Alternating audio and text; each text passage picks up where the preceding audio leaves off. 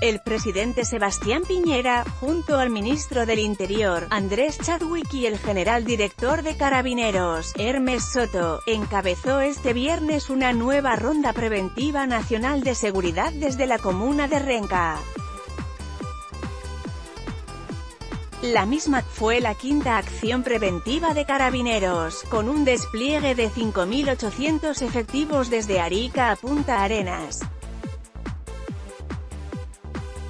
De ellos, alrededor de 1.800 se desplegaron en la región metropolitana.